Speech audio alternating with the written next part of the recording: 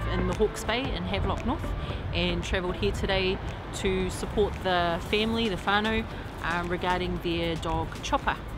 My personal feelings is that um, common sense wasn't used in the approach and how it's um, made this uh, beautiful dog put behind uh, sealed bars for up to nearly a year. Doesn't make sense.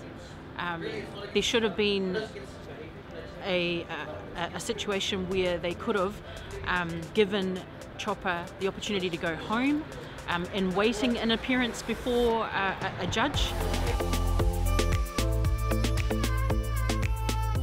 I have to be optimistic rather than pessimistic, um, but I'm hoping that uh, the judge will um, be objective.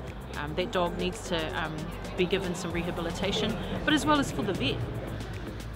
They need to have closure. Family needs to have closure. That's the main thing.